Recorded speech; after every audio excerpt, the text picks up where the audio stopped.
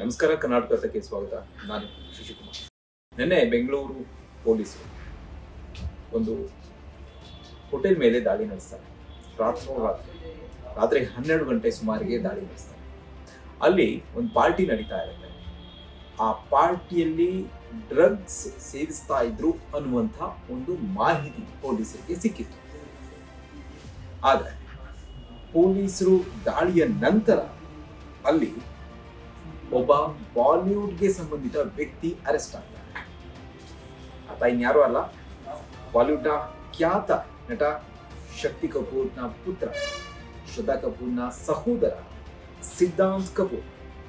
ಸಿದ್ಧಾಂತ್ ಕಪೂರ್ ಸೇರಿದಂತೆ ಐವತ್ತು ಜನರನ್ನ ಪೊಲೀಸರು ಬಂಧಿಸಿದ್ದಾರೆ. ಈ ಐವತ್ತು ಜನರನ್ನ ವೈದ್ಯಕೀಯ ಪರೀಕ್ಷೆಗೆ ಒಳಪಡಿಸ್ತಾರೆ. ಈ ಐವತ್ತು ಜನರ ಪೈಕಿ ಆರು ಜನರಲ್ಲಿ ಡ್ರಗ್ ಸೇವಿ ಸೇವಿಸಿರುವಂತಹ ಅಂಶ ಪತ್ತೆಯಾಗಿದೆ. ಅದರಲ್ಲಿ ಸಿದ್ಧಾಂತ್ ಕಪೂರ್ ಕೂಡ ಓರ್ವ ಡ್ರಗ್ ಸೇವಿಸಿರ್ತಕ್ಕಂಥ ಆರು ಜನರಲ್ಲಿ ಈ ಸಿದ್ಧಾಂತ್ ಕಪೂರ್ ಕೂಡ ಓರ್ವ ಆತನನ್ನು ಕೂಡ ಪೊಲೀಸರು ವಶಕ್ಕೆ ಪಡೆದಿದ್ದಾರೆ. ಈ ಕುರಿತಂತೆ ಪೊಲೀಸರು ಮಾಹಿತಿಯನ್ನು ಕೂಡ ಹಂಚಿಕೊಂಡಿದ್ದಾರೆ. ಎಲ್ಲಿ ನಡೀತಾ ಇತ್ತು, ಏನು, ಪಾರ್ಟಿ ಮೇಲೆ ದಾಳಿ ನಡೆದಿದ್ಯಾಕೆ ಅನ್ನುವಂಥ ಮಾಹಿತಿಯನ್ನ ಹಂಚಿಕೊಂಡಿದ್ದಾರೆ. ಪಾರ್ಟಿ ನಡೀತಾ ಇದ್ದಿದ್ದು ಬೆಂಗಳೂರಿನ ಟ್ರಿನಿಟಿ ಸರ್ಕಲ್ ಬಳಿಯ ದಿ ಪಾರ್ಕ್ ಅನ್ನೋ ಹೋಟೆಲ್. ದಿ ಪಾರ್ಕ್ ಅನ್ನೋ ಹೋಟೆಲ್ನಲ್ಲಿ ತಡರಾತ್ರಿ ಆದರೂ ಪಾರ್ಟಿ ನಡೀತಾ ಇತ್ತು. ಬಹಳಷ್ಟು ಮಂದಿ ಪಾರ್ಟಿಯಲ್ಲಿ ಭಾಗಿಯಾಗಿತ್ತು ಹೀಗಾಗಿ ಪೊಲೀಸರಿಗೂ ಮಾಹಿತಿ ಇತ್ತು. ಇದೇ ಪಾರ್ಟಿಯಲ್ಲಿ ಡ್ರಗ್ಸ್ ಸೇವಿಸುವಂಥದ್ದು ಅಥವಾ ಡ್ರಗ್ಸ್ ಸಪ್ಲೈ ಮಾಡ್ತಾ ಇದ್ದಾರೆ ಅನ್ನುವಂಥ ಒಂದು ಮಾಹಿತಿ ಸಿಕ್ಕಿತ್ತು. ಹೀಗಾಗಿ ಪೊಲೀಸರು ಏಕಾಏಕಿ ದಾಳಿ ನಡೆಸ್ತಾರೆ. ದಾಳಿಯಲ್ಲಿ ಐವತ್ತಕ್ಕೂ ಹೆಚ್ಚು ಜನರನ್ನ ಬಂಧಿಸ್ತಾರೆ. ಆದರೆ ಈ ಸಿದ್ಧಾಂತ್ ಯಾಕೆ ಬಂದಿದ್ದ, ಏನು ಅನ್ನುವಂಥದ್ದನ್ನ ಪೊಲೀಸರು ಮಾಹಿತಿ ಕಲೆ ಹಾಕಿದಂಥ ಸಂದರ್ಭದಲ್ಲಿ ಸಿದ್ಧಾಂತ್ ಬಂದಿರ್ತಕ್ಕಂಥದ್ದು ಡಿ ಜೆ ಇದ್ದವ ಇದೇ ಪಾರ್ಟಿಯ ಡಿ ಜೆ. ಆತನ ಜೊತೆ ಈ ಸಿದ್ಧಾಂತ್ ಕಪೂರ್ ಬಂದಿದ್ದಾರೆ ಸಿದ್ಧಾಂತ್ ಕಪೂರ್ ಬಂದ ನಂತರದಲ್ಲಿ ಇಲ್ಲಿ ಡ್ರಗ್ ಸೇವನೆ ಆಗಿತ್ತು ಅನ್ನುವಂಥ ಒಂದು ಆರೋಪ ಕೂಡ ಕೇಳಿ ಬರುತ್ತೆ. ಹೀಗಾಗಿ ಪೊಲೀಸರು ದಾಳಿ ನಡೆಸ್ತಾರೆ. ದಾಳಿಯ ವೇಳೆಯಲ್ಲಿ ಐವತ್ತಕ್ಕೂ ಹೆಚ್ಚು ಜನರನ್ನ ವಶಕ್ಕೆ ಪಡೆಯಲಾಗುತ್ತೆ.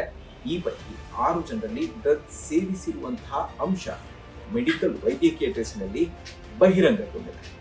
ಹೀಗಾಗಿ ಬಾಲಿವುಡ್ ಹಾಗೂ ಡ್ರಗ್ಸ್ಗೂ ಅವಿನಾಭಾವ ನಂಟಿರ್ತಕ್ಕಂಥದ್ದನ್ನು ನಾನು ಹಿಂದೆ ನಿಂದು ಕೂಡ ನೋಡ್ತಾನೆ ಬಂದಿದ್ದೀನಿ.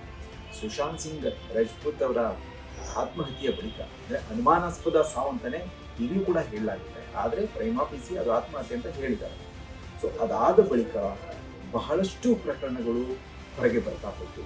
ದೀಪಿಕಾ ಪಡುಕೋಣೆ ಅವರು ಕೂಡ ಪೊಲೀಸರ ಮುಂದೆ ಹೇಳಿಕೆಯನ್ನು ಕೊಟ್ಟಿದ್ರು ಶ್ರದ್ಧಾ ಕಪೂರ್ ಕೂಡ ಹೋಗಿ ಪೊಲೀಸರ ಮುಂದೆ ವಿಚಾರಣೆಯನ್ನು ಎದುರಿಸಿದ್ರು. ಅದಾದ ನಂತರದಲ್ಲಿ ಬಹಳಷ್ಟು ಸುಶಾಂತ್ ಸಿಂಗ್ ಅವರ ಪ್ರೇಯಸಿ ಆಗಿದ್ದಂತಹ ರಿಯಾ ಚಕ್ರವರ್ತಿ ಕೂಡ ಪೊಲೀಸರು ಅರೆಸ್ಟ್ ಆಗಿ ಜೈಲಿನ ಜೈಲುವಾಸವನ್ನು ಅನುಭವಿಸಿದರು. ಹೀಗಾಗಿ ಬಾಲಿವುಡ್ಗೂ ಹಾಗೂ ಡ್ರಗ್ಸ್ಗೂ ಅವಿನಾಭಾವ ನಂಟು ಇದೀಗ ಈ ನಂಟು ಬೆಂಗಳೂರಿಗೆ ವ್ಯಾಪಿಸಿರ್ತಕ್ಕಂಥದ್ದು ನಿಜವಾಗ್ಲೂ ದುರಂತ ಹಿಂದೆಯೂ ನಾವು ಗಮನಿಸಿದ್ದೀವಿ, ಡ್ರಗ್ಸ್ಗೆ ಸಂಬಂಧಪಟ್ಟಂತೆ ಕನ್ನಡದ ಇಬ್ಬರು ನಟಿಯರು ಕೂಡ ಅರೆಸ್ಟ್ ಆಗಿ ಜೈಲುವಾಸವನ್ನು ಅನುಭವಿಸಿ ಅದಾದ ಬಳಿಕ ಬಿಡುಗಡೆಯಾಗಿದ್ರು ಇದೀಗ ಮತ್ತೆ ಬೆಂಗಳೂರಿನಲ್ಲಿ ಡ್ರಗ್ಸ್ ಜಾಲದ ಒಂದು ಸ್ಟೋರಿ ಅನಾವರಣ ಆಗಿದೆ. ಡ್ರಗ್ಸ್ ಜಾಲವನ್ನು ಭೇದಿಸಿದ್ದಾರೆ. ಸೊ, ಇನ್ನೂ ಹೆಚ್ಚಿನ ತನಿಖೆಯನ್ನ ನಡೆಸಿದ ಬಳಿಕವಷ್ಟೇ ಇದು ಹೇಗೆ ಯಾವ ಡ್ರಗ್ ಸೇವಿಸಿದ್ರು ಹೇಗೆ ಇಲ್ಲಿಗೆ ಬಂತು ಅನ್ನುವಂಥದ್ದು ಮುಂದಿನ ನ್ಯೂಸ್ಗಳಲ್ಲಿ ಗೊತ್ತಾಗಬೇಕು ಸೊ ಇದಿಷ್ಟು ಈ ಹೊತ್ತಿನ ಅಪ್ಡೇಟ್ಸ್ ನಿರಂತರ ಅಪ್ಡೇಟ್ಸ್ ಆಗಿ ನೋಡ್ತಾರೆ ಕರ್ನಾಟಕ. ಬೆಂಗಳೂರಿನಿಂದ ಮಂಗಳೂರುವರೆಗೆ. ಬೀದರ್ನಿಂದ ಚಾಮರಾಜನಗರದವರೆಗೆ. ನಿಮ್ಮ ಸುದ್ದಿ ನಿಮ್ಮದೇ ಭಾಷೆಯಲ್ಲಿ. ಕರ್ನಾಟಕ ತಕ್.